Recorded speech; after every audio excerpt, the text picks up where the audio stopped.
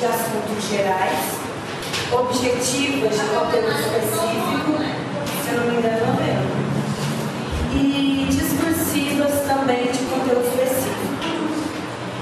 Quando falamos em questões discursivas, nós temos muitas dicas que eu trouxe para a gente poder trabalhar como você elaborar uma questão discursiva. Porque ali, geralmente, elas têm valor de 10 pontos. Então, numa questão objetiva, se você erra, você perde aquela pontuação. Porém, numa questão discursiva, você pode tirar os 10 pontos ou próximos 10 pontos, de acordo com o que você conseguir atingir na questão. Tá?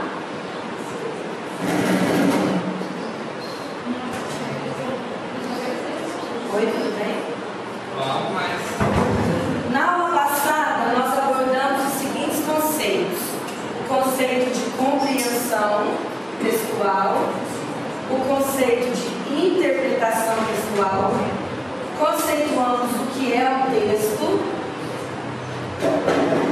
vimos que os textos podem ser classificados quanto ao seu tipo e quanto ao seu gênero. Então foram essas questões básicas que nós trabalhamos na aula passada. Ok?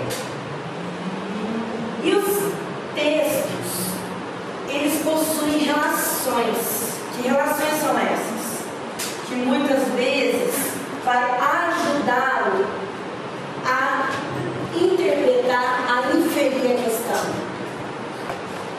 Os textos desenvolvem relação entre si sendo que, embora apresentem formatos diferentes, tanto quanto ao seu tipo quanto ao seu gênero, por vezes tratam de temas semelhantes. Eu estou falando aqui de intertextualidade. Você já tinha ouvido falar aqui nessa palavra? Intertextualidade? É uma questão muito simples, muito básica, mas muito útil nas questões de leitura e interpretação textual. Vamos definir o que é intertextualidade. Intertextualidade é uma forma de diálogo entre que pode se dar de forma mais implícita ou mais explícita, de acordo com o tipo do texto, de acordo com a intencionalidade do autor. O intertexto ele serve para ilustrar a importância do conhecimento de mundo então, aqui está a primeira dica da aula de hoje. O aluno, nas questões, principalmente interpretação textual, onde ele precisa fazer uma referência, é importante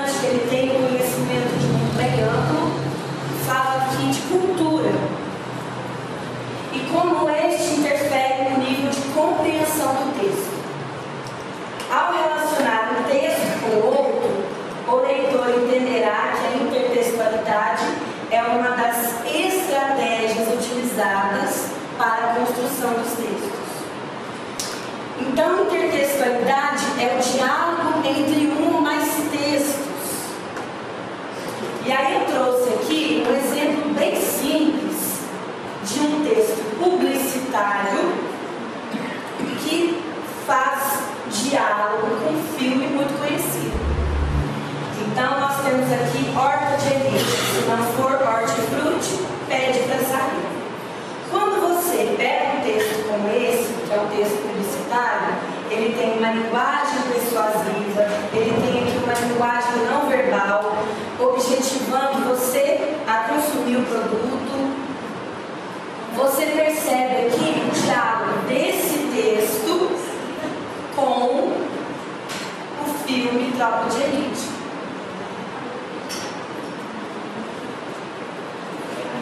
Outro exemplo.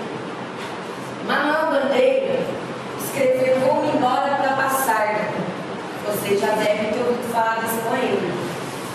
E aí Milor Fernandes faz uma paródia, vou embora de passar.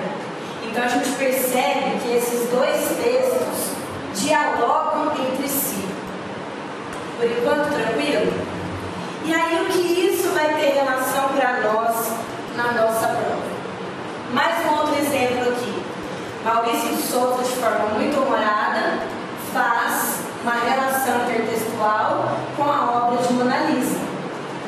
Então, intertextualidade acontece quando há uma referência, nesse caso aqui bem explícita ou implícita, de um texto em outro. E essa intertextualidade pode ocorrer na pintura, em filmes, novelas. Assim sendo, toda vez que uma obra alude a uma outra,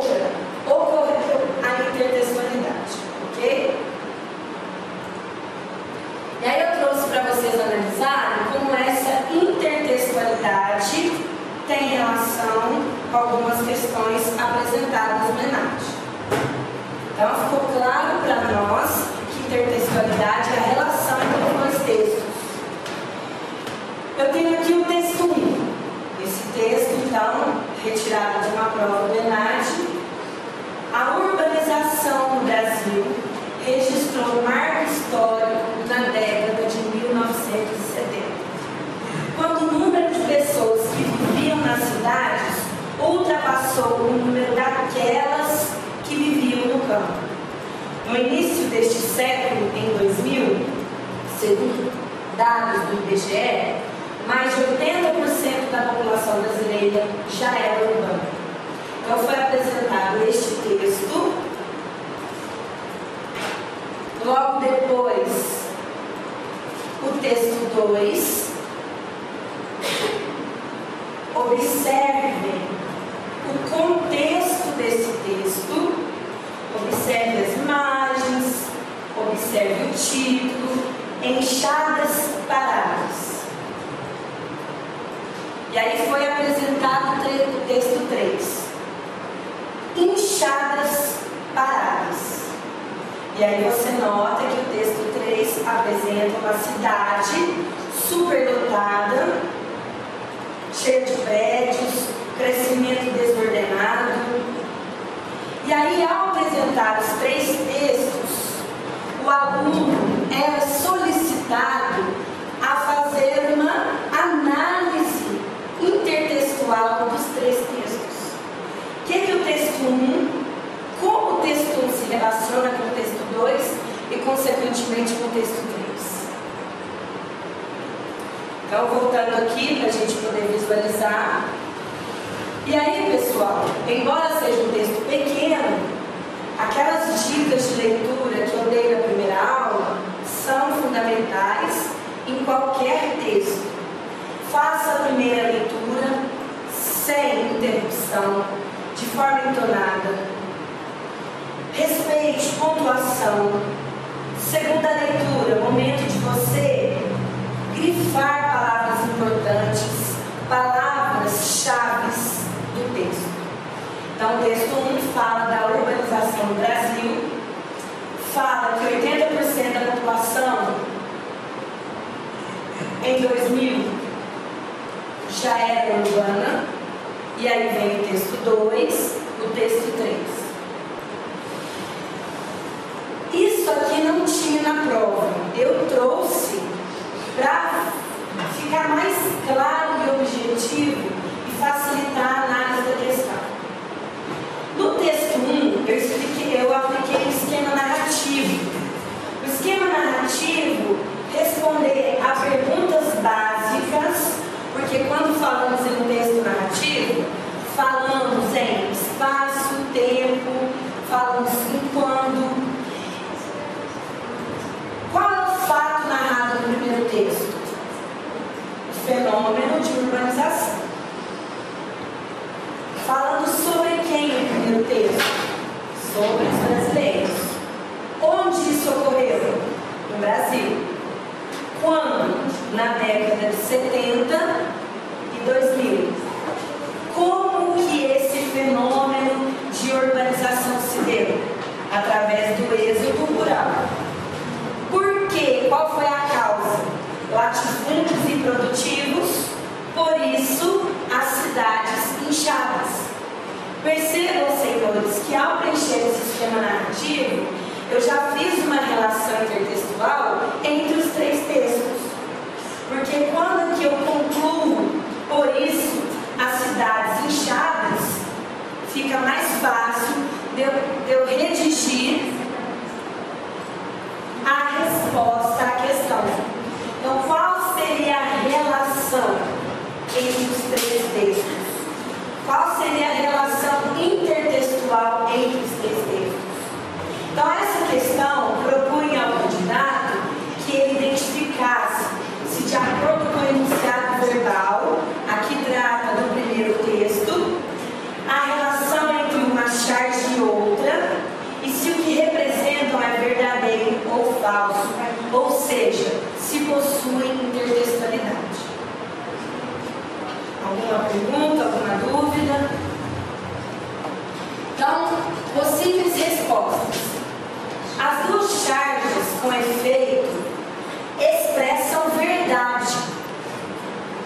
a partir do momento que o campo foi abandonado, as enxadas paradas tornaram as cidades inchadas, no sentido de superpopulação.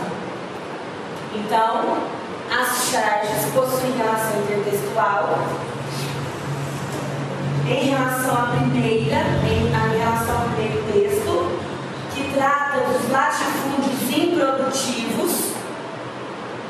Por isso, logo depois, a charge mostra a enxada parada. E a segunda charge trata de uma cidade caótica, o que você consegue analisar com clareza devido aos elementos que a charge te traz e a causa do inchaço das cidades, então, é a existência de latifúndios improdutivos. Assim, as duas charges, juntamente com o texto, possuem relação intertextual. Ok? Para compreendermos um texto, a gente precisa ter noção desse elemento aqui, contexto. O que seria o contexto de um texto? É a situação concreta ao que o texto se refere. Por isso, aquele conhecimento de mundo que eu chamei a atenção dos senhores no início da aula é de fundamental importância, pois você poderá não conseguir fazer essa relação intertextual, principalmente quando há charges, pois as charges trazem como uma característica fazer uma crítica a uma situação política, histórica, social, ao qual a gente esteja vivendo ou já viveu. Portanto, se você não sabe, não tem conhecimento do assunto, você terá dificuldade de fazer essa relação. Ou seja, informações que o leitor obtém de outras fontes e que formam seu universo de conhecimento. Vamos analisar uma outra questão.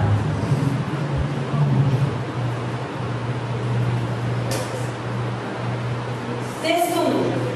Como se sabe, a idade mínima para a criança trabalhar no Brasil é de 14 anos, de acordo com o que dispõe o artigo 403 da CLT. É proibido qualquer trabalho a menores de 16 anos, salvo na condição de aprendiz a partir dos 14 anos. Então aqui trata uma norma legal. Dica: tem caído muito sobre direitos humanos. Na prova de 2008 ou 11, a Declaração dos Direitos Humanos completava 60 anos. E ali a prova do ENAD fazia uma referência, tinha textos falando sobre o assunto.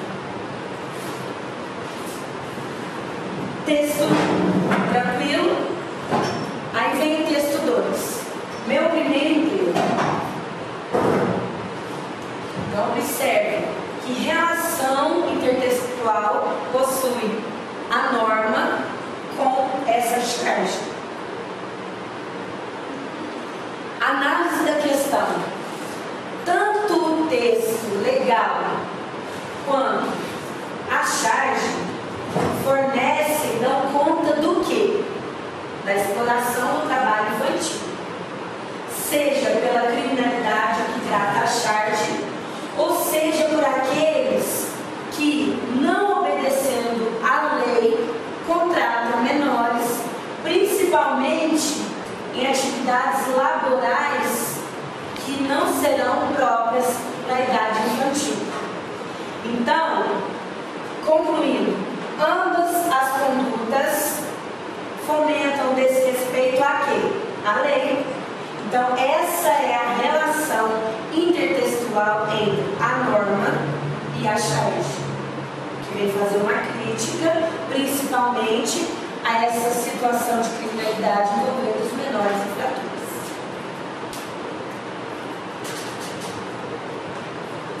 percebeu que essas duas questões que eu trouxe tratam de temas extremamente atuais, o que demonstra a necessidade de leitura permanente de jornais, revistas, internet, pois vocês devem ficar assim muito, né?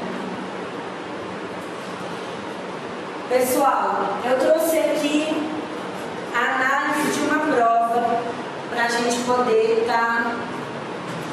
A prova, então, como eu falei, ela é de formação geral, questões de múltipla escolha, de formação geral, questões discursiva, de formação específica, questões de múltipla escolha e de formações específicas, questões discursivas.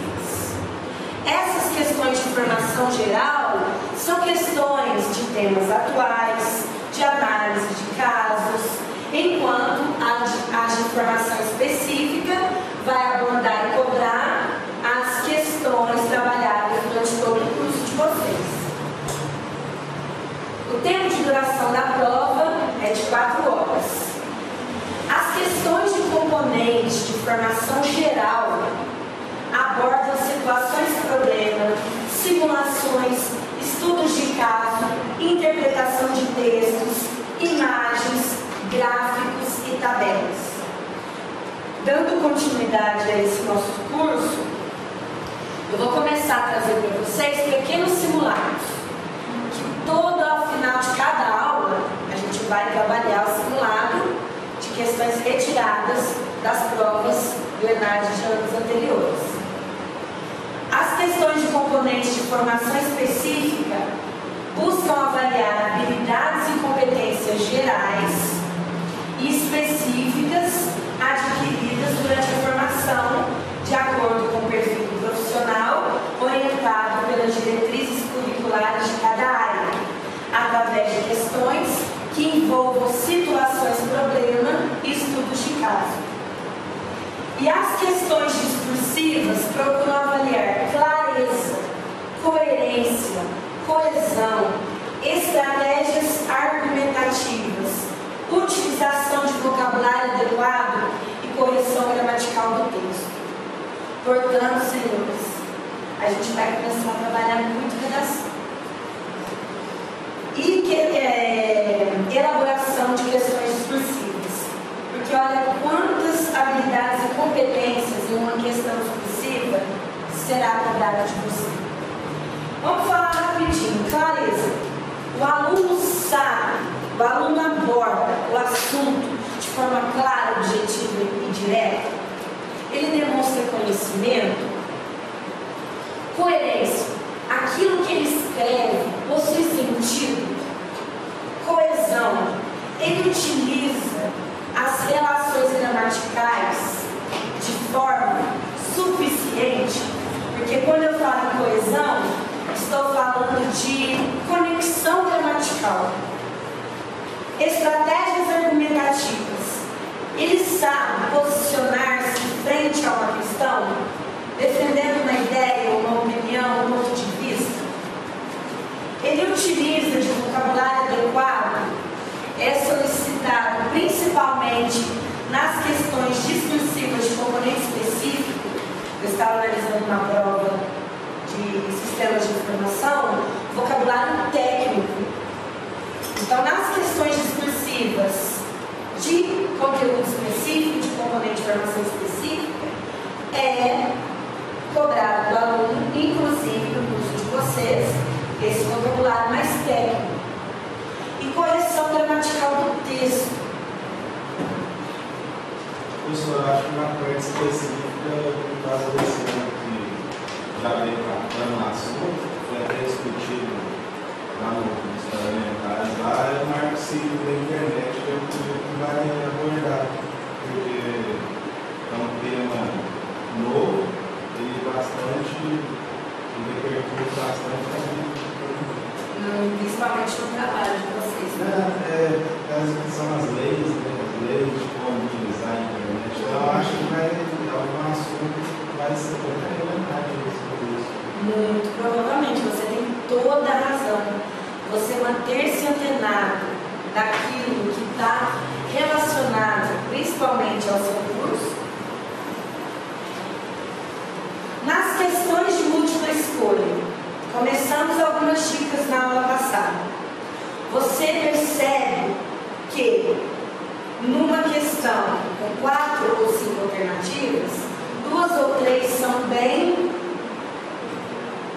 fora do contexto, fora da, da resposta. Ficando entre duas, fica mais fácil, por isso leia o enunciado e procure elaborar a resposta antes de ler as alternativas. Leia todas as alternativas, mesmo que você localize uma resposta que ache correta antes do término das opções. Fique atento às ilustrações com imagens, gráficos, tabelas. Analise-as com cuidado. Confira suas marcações da folha de resposta. Nas questões discursivas, leia com atenção todas as questões e destaque as ideias principais do texto e as que você for lembrando com a leitura. Do enunciado, diferenciando o que foi pedido. Nós comentamos, quando falamos em interpretação e compreensão, que na maioria das vezes o aluno entende o texto e na hora de responder ele se empolga, porque o comando da questão ele vai influenciar na resposta. Você está sendo solicitado a redigir um texto dissertativo e argumentativo, ou explicar, ou apresentar uma argumentação coerente, ou responder as perguntas, ou calcular os valores, ou interpretar os resultados encontrados, ou justificar a escolha, dizer o porquê daquela escolha, relacionar, indicar, comparar, descrever, exemplificar. Cuidado que cada comando lhe solicita uma habilidade. E aí você observando bem o comando, você provavelmente não vai errar a resposta. Responda primeiro as questões mais simples. Lembre-se de utilizar terminologia técnica sempre que necessário. Foi as questões que eu exemplifiquei das de componente específico da área de vocês. Releia suas respostas para corrigir erros e aprimorar o conteúdo. Identificar aspectos relevantes e secundários. Este é um ponto fundamental, porque perceba, nas questões discursivas e de produção de texto no ENAD, identificar os pontos relevantes dos secundários fará toda a diferença para que você responda aquilo que lhe foi solicitado. Para que você não fale além do que é necessário e nem para que você deixe aquém da resposta.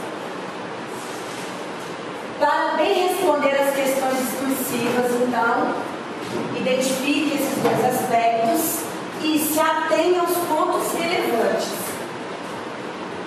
Como há limitação de tempo e também de espaço, você deve decidir quais aspectos da questão devem ser explicitados, quais podem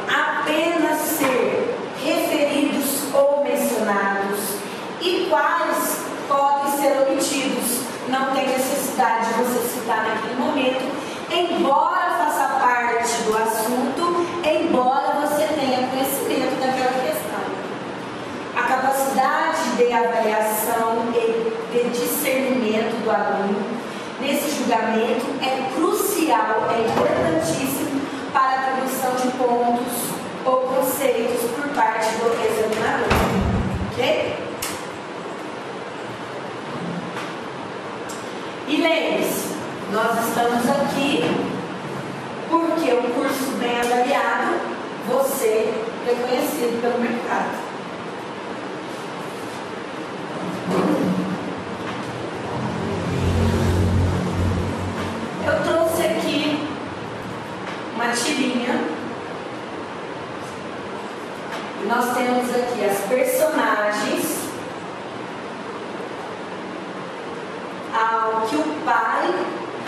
Mafalda, o nome dela, pergunta para ela: que está fazendo com a televisão desligada? Ao que ela responde: Estou pensando, quero ter o gosto de poder pensar em frente da televisão ao menos uma vez. Tranquilo? E aí, pergunto: o que podemos concluir a respeito da pergunta da personagem Mafalda? Observe o comando dessa questão. Sobre a resposta de Mafalda, conclui-se que, de acordo com o comando, de acordo com o que trabalhamos na aula anterior, essa questão é uma questão de compreensão textual ou de interpretação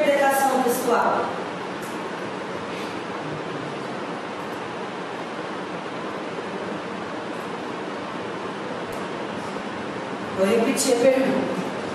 De acordo com o comando da questão, trata de uma questão de compreensão ou de interpretação textual. Vocês se lembram da diferença? O que é interpretação textual? o texto tem que ler e tira as informações do texto. Do texto, a informação está no texto. Muito bem, parabéns. Nota mais. É. Nossa senhora. Ideia de reforço da pressa E questão de interpretação textual? Tem que avaliar o cenário. né? É quando você fazer uma inferência, ir além do que o texto tem. Primeira questão. Primeira é, pergunta, é, resposta. O movimento das imagens, a inovação e a originalidade são características de tudo que acontece na televisão? Opção 2. Sem a televisão não se saberia o que é conhecer as coisas ou porque as coisas acontecem. Os homens poderiam usar plenamente seu potencial de inteligência se não fosse a televisão? Com o advento da televisão, as mulheres perderam sua capacidade de crítica? O volume de informações e a maneira como a televisão as veicula impede que as pessoas reflitam maduramente sobre os assuntos. Qual é a resposta para esta questão? Alguém discorda seja letra E?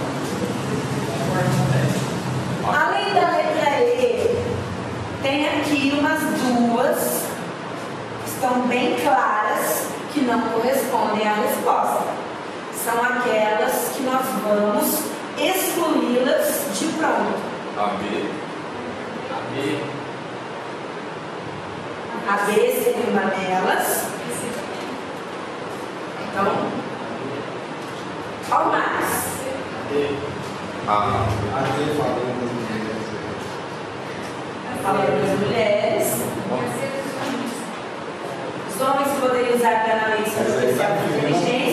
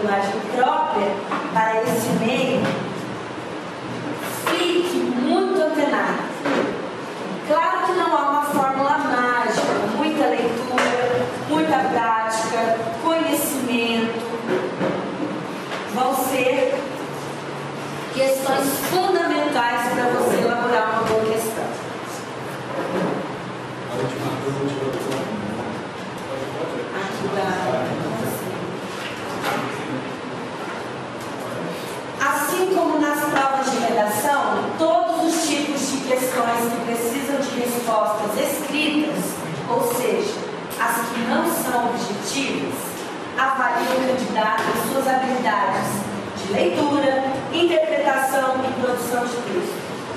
Isso acontece porque não basta ao candidato apenas ter conhecimento do assunto questionário. A pergunta precisa ser bem compreendida para que a produção da resposta esteja adequada ao que foi solicitado. Portanto, observar o comando da questão é importante para você ir direto ao ponto e não deixar nenhuma informação mal respondida. Primeira dica: resposta excessivamente objetiva deve ser evitada. Por quê? Porque quando falamos em questões discursivas, falamos em respostas que devem ser considerados pequenos textos, que devem ser considerados textos autônomos. Dando um exemplo bem simples para vocês entenderem. Perguntas orais normalmente recebem respostas curtas e diretas. Assim, diante da pergunta qual a capital da Argentina, comumente se responderia apenas Buenos Aires. Entretanto, essa não é uma resposta adequada,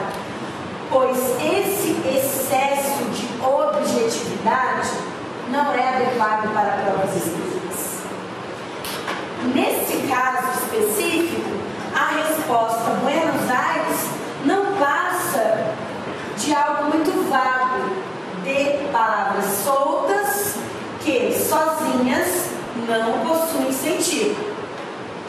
A primeira dica importante para você responder as questões discursivas de qualquer disciplina é a visão de uma resposta com um pequeno texto que deve possuir sentido completo.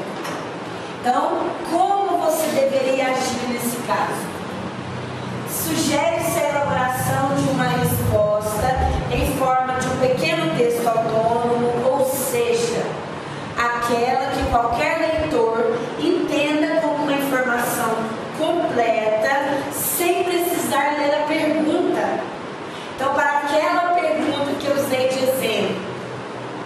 qual a capital de Buenos Aires? Você deveria responder: a capital de Buenos Aires é. Mentira. A capital da Argentina é Buenos Aires. Qual é a capital da Argentina? A capital da Argentina é Buenos Aires. Então percebam, senhores, que a minha resposta ela torna-se autônoma, ela não depende da pergunta. Ela por si só tem todo o sentido completo. Claro isso? Então, excesso de objetividade deve ser evitado. Tema certo, resposta errada. No nervosismo, na pressa, decorrente da prova, você lê a pergunta e feliz por conhecer o assunto e ansioso por responder logo, para passar para a próxima questão, registre seu pensamento de qualquer jeito sem ler o que escreveu. Ocorre que você poderá expor dados ligados ao tema, mas que não correspondem àquilo que lhe foi solicitado. Lembra que eu comentei anteriormente a respeito de tal assunto? Inúmero conhecimento, inúmeros conhecimentos você tem sobre ele. Mas o que especificamente está sendo perguntado? O que especificamente está sendo solicitado? Nesse caso, como proceder? Após redigir, leia sua resposta, releia a questão, verifique se aquilo que foi solicitado está no seu texto e se responde, e se você o responde com precisão. Lembre-se, nós estamos tratando aqui de algo muito importante para a escrita, chamado Ser conciso é ir direto ao ponto, mas não quer dizer ser objetivo demais. É você utilizar as palavras de forma adequada, evitar palavras desnecessárias.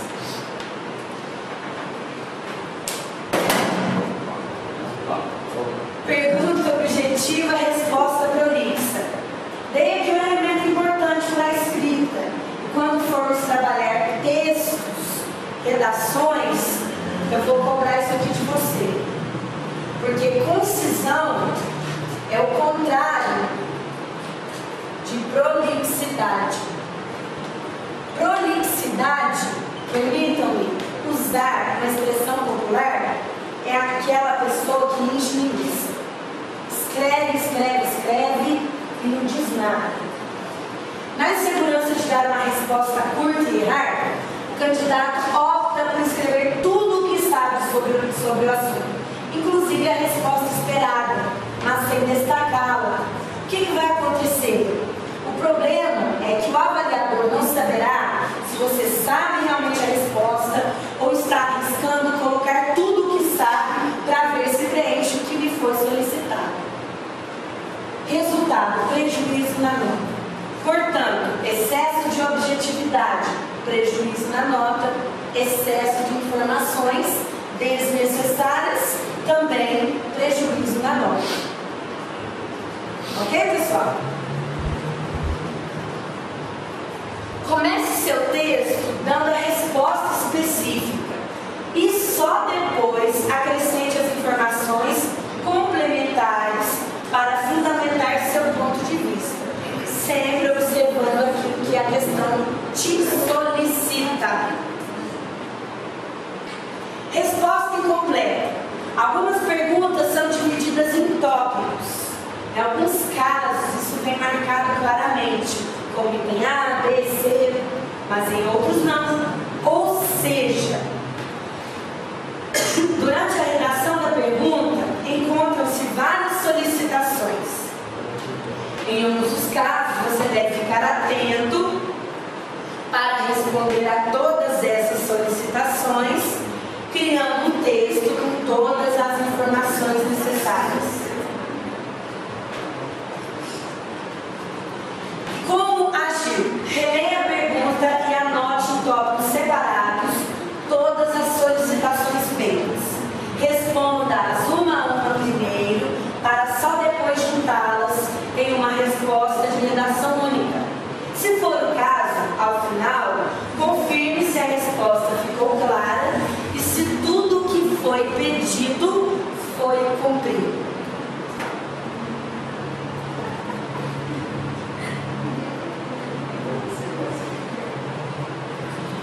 E para terminarmos, excesso de abstrações e questões dissertativas. As questões são aquelas que, além de você demonstrar conhecimento do assunto, você, você deverá defender uma ideia, um ponto de vista, uma opinião e justificá-la por meio de dados, fatos, justificativas, exemplos.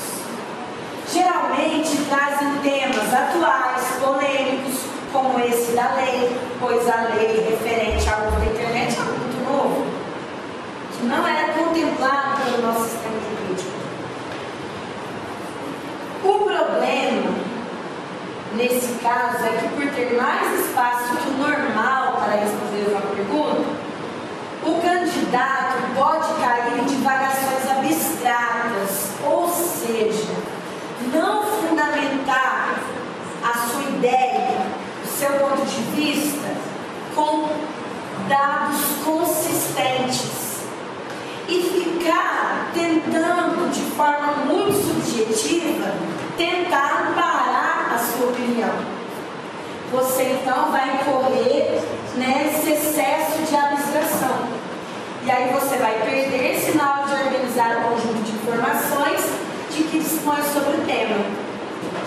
Com relação às questões dissertativas, nós teremos uma aula específica desse tipo de texto, que é um texto que solicita muito mais de você. Pessoal, alguma dúvida? Alguém gostaria de falar alguma coisa? Então vamos para a prática. Então vamos pôr a mão na massa.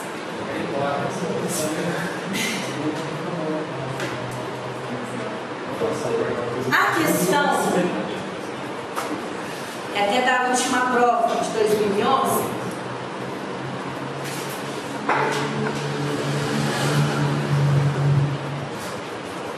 É essa daí. Questão discursiva 1, Granate. Vem esse texto de apoio, o qual o próprio nome diz, texto de apoio você não poderá apropriar-se de trechos dos textos de apoio da prova. Ok? A educação à distância, EAD, é a modalidade de ensino que permite que a comunicação e a construção de conhecimento entre os usuários envolvidos possam acontecer em locais e tempos distintos são necessárias tecnologias cada vez mais sofisticadas para essa modalidade de ensino não presencial, com vistas à crescente necessidade de uma pedagogia que se desenvolva por meio de novas relações de ensino-aprendizagem. Talvez esse texto para você e a partir da leitura dele e dos seus conhecimentos sobre o assunto.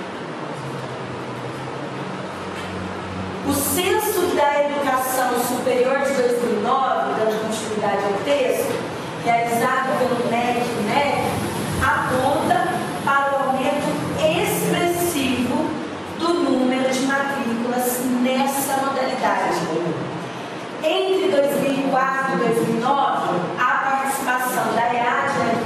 superior passou de 1,4% para 14,1%, totalizando 838 mil matrículas, das quais 50% são em cursos de licenciatura.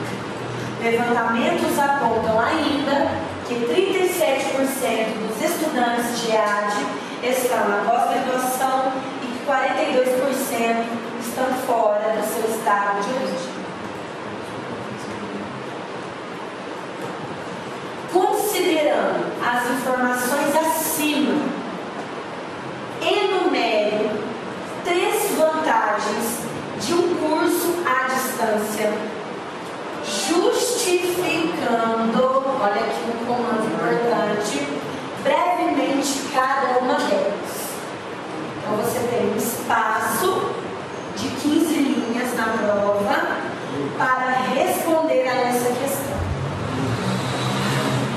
Alguma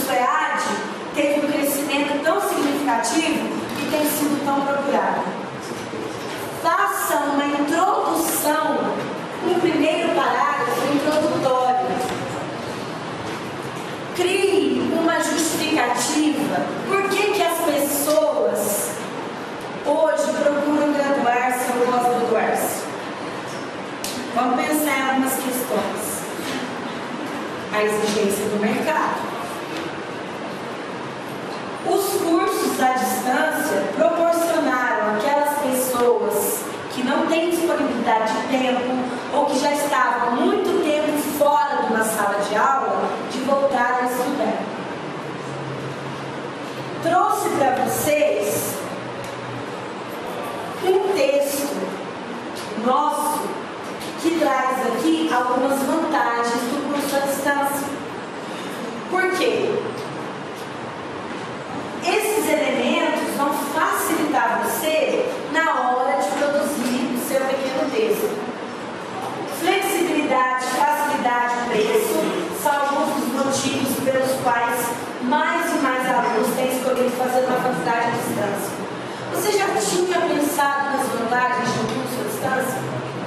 Já tinha parado para pensar nesse assunto? Se fosse hoje para exigir esse pequeno texto, essa pequena resposta discursiva na prova do Renate, você teria conhecimento, você teria vantagens para poder apontar em qualquer lugar, para é Os alunos podem assistir ao curso em qualquer lugar, sem precisar enfrentar trânsito, nem sair de casa ou do trabalho. Então, essa é uma vantagem. E aí eu desenvolvi a vantagem. Ele pode estudar em qualquer lugar, basta ter acesso à internet. A qualquer hora. O material do curso está disponível 24 horas por dia, 7 dias por semana. Participa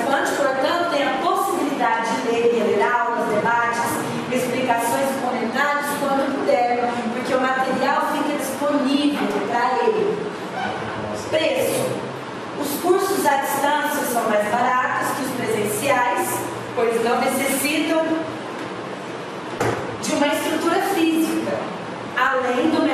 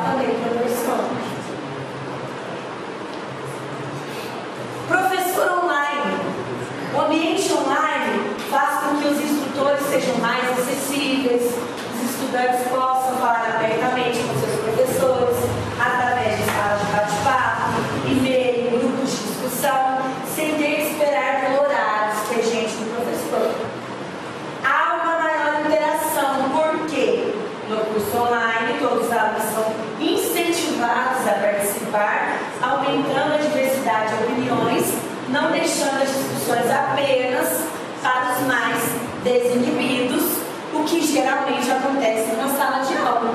Aqueles que gostam de participar, aqueles que têm mais inibição, são aqueles que mais falam. Prática informática. Uso da internet para assistir aulas, pesquisar informações e se comunicar com outros estudantes, além de utilizar softwares para enviar trabalhos e apresentações, ensina habilidades no uso de tecnologias que são cruciais para o mercado tão exigente que nós estamos inseridos hoje. Então, na hora de você responder a essa pergunta, eu trouxe esse texto informativo